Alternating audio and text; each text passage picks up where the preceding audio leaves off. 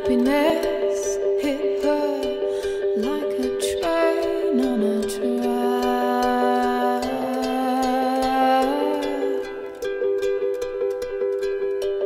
Coming towards her, stuck still, no turning back.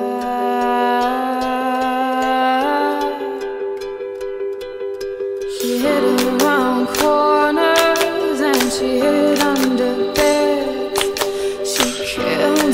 Kiss.